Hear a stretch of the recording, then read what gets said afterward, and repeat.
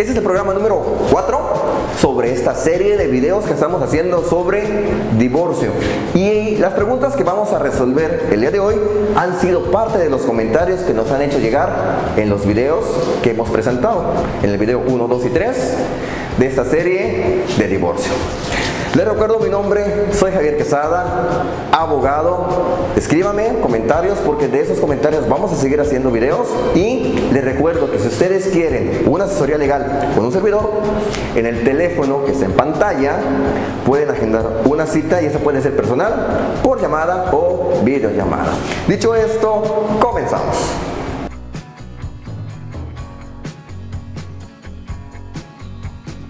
La primera pregunta es, ¿necesito un abogado para divorciarme? La respuesta es sí, pero no. No necesito un abogado si voy a hacer un divorcio administrativo. Simplemente voy a acudir con mi futuro ex esposo a registro civil, presentamos los documentos que nos piden, firmamos y se acabó el procedimiento. Ahora bien, si va a ser un procedimiento de divorcio voluntario o un procedimiento de divorcio incausado, sí necesito contar con la asesoría de un abogado que tendrá que acompañarme ante el juzgado familiar en una audiencia para que el juez proceda a decretar el divorcio.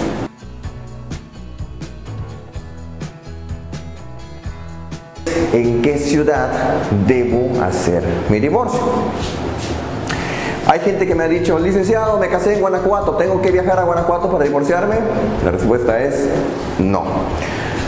Si estoy viviendo, por ejemplo, en Yucatán, mis hijos están viviendo en Yucatán. Aunque yo me haya casado en Monterrey o me haya casado en el Distrito Federal, yo puedo realizar mi proceso de divorcio en Yucatán siempre y cuando sea este un divorcio voluntario o sea un divorcio incausado. Si va a ser un divorcio administrativo, entonces sí, tengo que ir al registro civil en el cual me casé para ir junto con mi futuro ex esposo a firmar y quedar divorciado.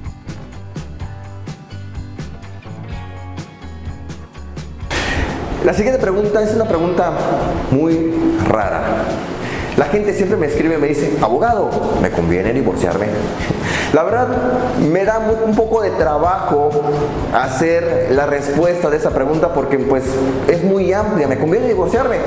Bueno, si quiero tener certeza legal, sí me conviene divorciarme, sobre todo si soy casado por bienes eh, mancomunados. Pero yo pienso que esta pregunta es o viene más bien enfocada a saber qué puede obtener la persona al momento de divorciarse.